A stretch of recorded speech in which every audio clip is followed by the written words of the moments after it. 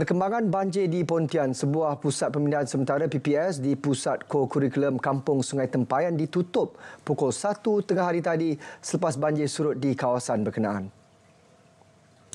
Jawatan Kuasa Pengurusan Bencana Negeri memaklumkan keadaan paras air di dua sungai di daerah Pontian dilapor pada tahap normal. Di Sungai Pontian Besar mencatat bacaan 3.79 meter, manakala Sungai Pulau 1 meter. Selain paras air di kawasan kediaman turut surut sepenuhnya.